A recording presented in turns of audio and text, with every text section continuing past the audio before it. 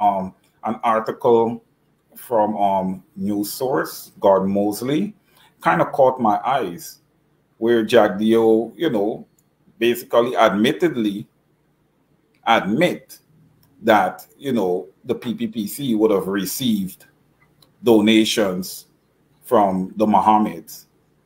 And he said it was nothing different than what, you know, the Mohameds does for other parties. I'm going to say this. If the Mohameds do um, donate to the PPPC and the APNU, the amounts that are donated is not equal across the board. I'm going to just say this, you know, without seeing anything. But one thing I must say, Mark, is that he's been put in check enough now that when questions are asked, you know, there is some truth to the answer and the answer is, is, is forthcoming. He's not throwing the nonsense that he continually throws at Guyanese people because he's in check and he's going to stay in check. Because as far as I'm concerned, Barry Jagdeo is irrelevant. And Guyanese need to start understanding that.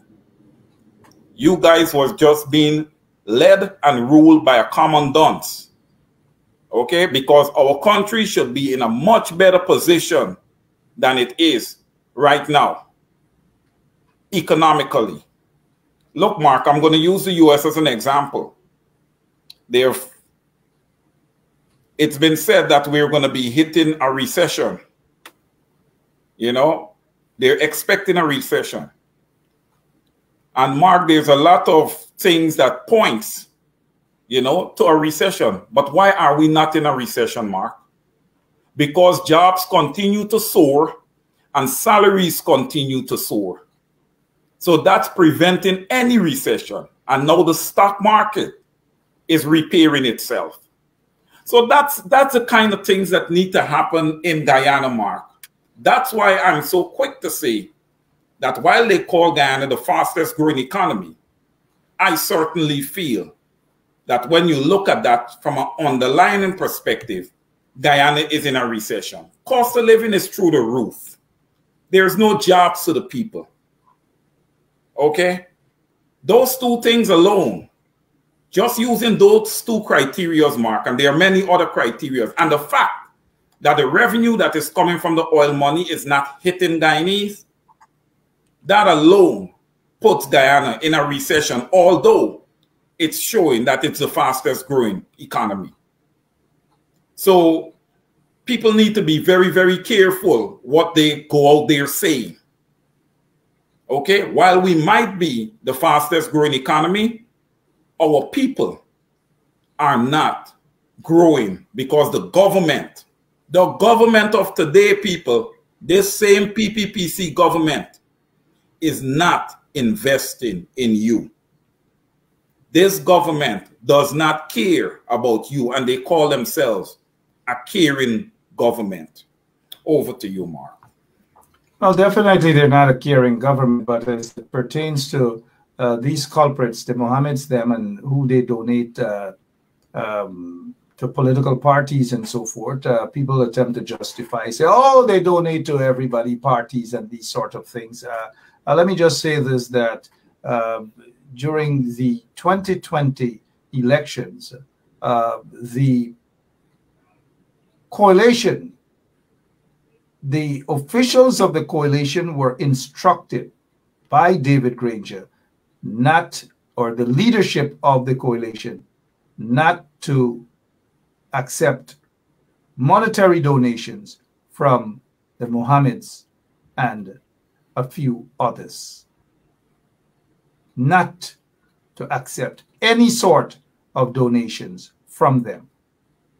Now, there were some little hustlers within the coalition who ran in with a little brown paper bag, collect the thing and they gone away, collect the thing and they gone away, and whatever. But uh, the biggest donor to the PPP during the course of the 2020 elections was actually, uh, it could possibly be um, these culprits, the Mohameds, them. So Jagdeo, Jagdeo is trying to make it look as though, oh, they might have, but look at who gave cars to uh, Irfaan Ali on the day that he was illegally sworn in and so forth and so on. Look at, look at what happened there, right? Look at what happened. So um, there's no justification. Oh, other stack and this. But there are lots of people whose hands are in the, the cookie jar, so to speak. Lots of them. And so some people are only attempting to justify now on who tech and who in tech and who in tech. Well, at least I could tell you all this. I could tell you all this. Not a single one of them, not a single one of them ain't giving me no crumbs, and I ain't accepting no crumbs, and it didn't matter what it is, not me. Absolutely not me. But you are correct, though, that the bulk of the money that the Mohameds possibly donated went straight to the PPP to finance the PPP in every area in the 2020 uh, rigged general and regional elections. And and so, um, you know, this whole news by Jagdeo and who, you know, Jagdeo is the last person to be speaking about these things. Uh, but you are correct. Guyana seems to be in a recession. No jobs, no nothing. The billions of dollars. We see Hess the oil company boasting and bragging that Guyana will get better and better, better and better for Hess and these oil companies, but not for the ordinary people. Mark, that's propaganda. That's all propaganda there. You know, they're pushing it. This why, you know, sometimes when you see some of these big media companies come out and you see these, you know, articles posted from some of these oil companies and and and these big investors, you can read into it and believe everything that you see there. You know, um, Hess and these companies, yes, they're in Guyana and they're gaining a lot. Their profit margin is so lopsided, you know, in favor, you know, of them, right?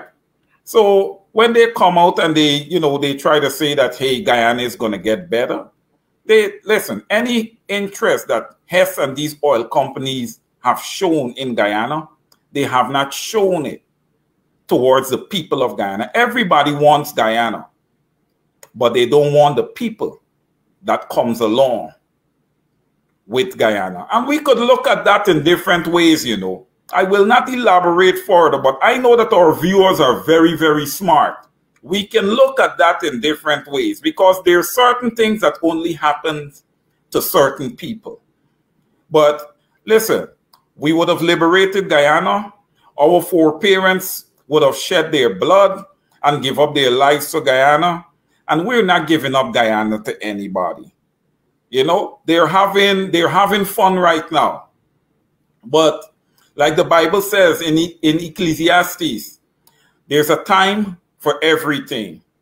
You know, and come 2025, you know, we're going to have our people edified they're going to be ready to go and we're going to recapture our country. So PPP, you know, you could come and you could offer them a hundred and two hundred thousand and all that you want to offer them to vote PPPC. But people, I'm telling you, don't be dense.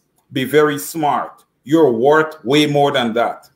Okay? Vote for change.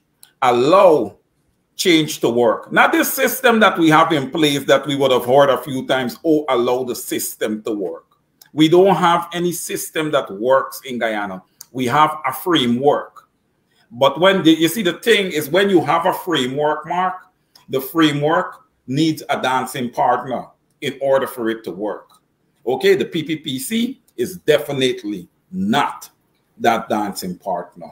Over to you, Mark. Thank you so much. 55 minutes after 9 o'clock. For those of you who are now joining us, my name is Mark Benschop, and with me is uh, Wayne Caesar. And um, uh, let me ask, let me ask uh, um, I notice uh, Dennis Atwell. Good evening to you. Dennis says, stop saying 2025. What else can we say? Elections are constitutionally due in 2025, so we can only say 2025. We can't say 2026, even though the PPP uh, will attempt to stretch it uh, into 2025, late 2025, create a situation at GECOM for it to go all the way over to 2026. So we got to be realistic.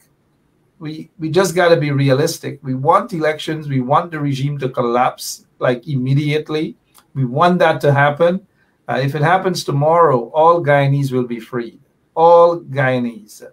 Uh, we're not hearing much from the MPs these days. What's going on, Mr. Caesar? Are they back in their nests? What's happening? Well, listen, Mark, I'm going to say this. I'm a bit disappointed, okay? Because, listen, we're already past halfway of 2023, right? We have 2024, and then we have 2025 around August. That's when elections are going to be. Jagdeo is going to act for that time. You know, we had that little lapse in between, you know, when they were trying to determine who would have won the 2020 general and regional elections, which was totally rigged by the PPPC and the international community and CARICOM and, and, and all these people, the ABC countries, all of you guys. All of you guys put the Guyanese people in what they are in today. Maya Mottley, all of you guys. Utter nonsense what you guys would have done to the people. CCJ, all of you guys are complicit. Mark, I'm calling out people. I'm, I'm not hesitating to call these people out. They're all complicit in what would have happened to the people of Guyana, including okay. including some of them, including some of them in the opposition uh, in the then coalition as well, who didn't go out and do much. Uh, there are lots of stories. Maybe one day in a nice book, everything will be revealed. But I don't want to steal your thunder as you uh, speak this evening. Go right ahead, sir. No, yeah, Mark. As I as I was saying, and listen, yes, there are some people in the opposition who's culpable because I remember when they were going back into the elections, there was a big fight for Moses Nagamootoo to be replaced as the um, prime ministerial candidate, which Khemraj Ramjattan ended up being that candidate, right? Am I correct on that, Mark? Am I correct? Yep, uh, Moses. I, I, almost sorry about that, Mr. Caesar. Yeah, I almost forgot that we had a prime minister by the name of Moses uh, Veerasammy. In fact, his name is actually Veerasammy, not Moses, because on his, on his birth certificate it's uh, Veerasammy and not Moses, but he prefers to be called Moses. Thanks for reminding me. I almost forgot that we had a, a prime minister by the name of Moses Nagamootoo. Uh, but whatever he's up to these days. Uh, but back to your question, you are correct. Um, but go ahead, sir. Yeah, no, I think I think he's I think he's writing books and doing a few things there. But I think it was well, a little me, bit. Let of, me quickly. Yeah, go ahead. Go ahead, Mark. Yeah, I think he was writing. Let me books. quickly. Uh, yeah, um, let me quickly address um, some of these coalition people. One of them is uh, Yanat Elias. Uh, always focus on these particular areas. So Yanat is saying one thing with Mark, he never calls his friend Granger name. Uh, I have said this on numerous occasions that things should have gone better in the elections. Mistakes were made. Mr. Granger has to accept responsibility for some of those mistakes that were made. He was surrounded by some uh, some folks who were basically flatfoot hustlers uh, he's not much of a, a, street person, so he he was taken advantage of to some extent, um, and so. Sorry about that, guys. And so and and so there are many times when I called out David Arthur Granger when he was president, when he was opposition leader. Uh, but over the over the coalition period, we have seen a lot of snakes within the coalition. Some are still lingering around. And for anybody to say that I don't call out or I have never called out David Granger, it is because they were never paying attention to my show.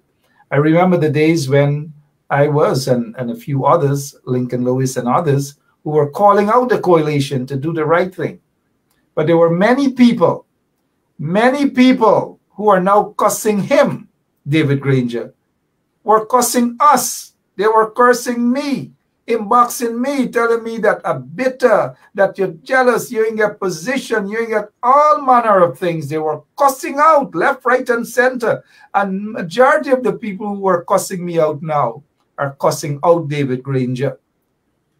and talking about the very things that we were trying to highlight them about and say, hey guys, you guys are not doing what needs to be done. We were cursed out. When I ran for mayor of Georgetown, they, they ran against me, they cursed me out, all manner of things. I'm trying to be nice, guys, right? And so those who were cursing me then for David Granger expect me to hold their hands now and cuss David Granger for them. It's not going to happen. I repeat, it is not going to happen. David Granger made mistakes. Yes. Story done. So don't try to say that I defend Granger and I never call out Granger. Nah, nah, wrong person. Sorry, I don't want to steal your thunder tonight, Mr. Um, um, Caesar, but we are talking about the members of parliament are seem to gone back in their cuckoo nest. Most of them, that is, most of them. Go ahead.